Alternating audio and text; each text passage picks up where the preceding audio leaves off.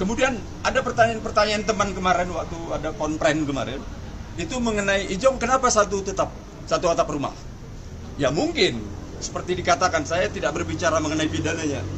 Saya ajukan, kami ajukan selaku kuasa hukum agar Ijong itu bisa bebas. Itu ada tertulis di pasal 136.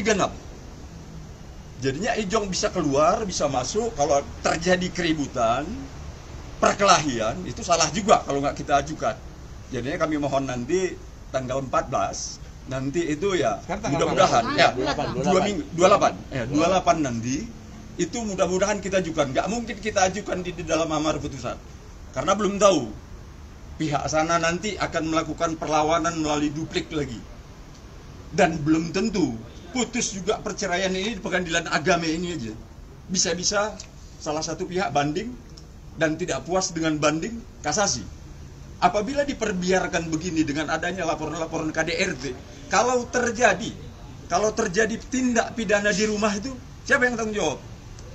Tapi di pasal 136 sudah kami mohonkan dan tanggal 28. 28 nanti kami ajukan permohonan itu agar klien kami saudara Ijom itu bisa kalau ribut ya dia keluar jangan nanti dikatakan dia menelantarkan anak Nah, jadinya itu dasar kita kemudian dilihat dari segi laporan-laporan pasal 3 kitab hukum Islam kompilasi hukum Islam ini udah menyalahi pasal 3 itu tujuan perkawinan adalah sakinah mawadah dan rahmah Warohmah.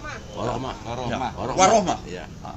Jadinya di sini ini dengan adanya terjadi percekcokan ini sudah tidak ada lagi bisa tercapai pasal pasal 3 ini tadi. Itu enggak hak kita. Kalau Ijong yang melakukan gugatan, dia namanya talak cerai. Kalau wanita itu melakukan gugatan, itu gugatannya adalah gugatan perceraian Permohonan cerai. terpisah. Nah, terpisah kembali apabila ya, jadinya itu aja saya rasa.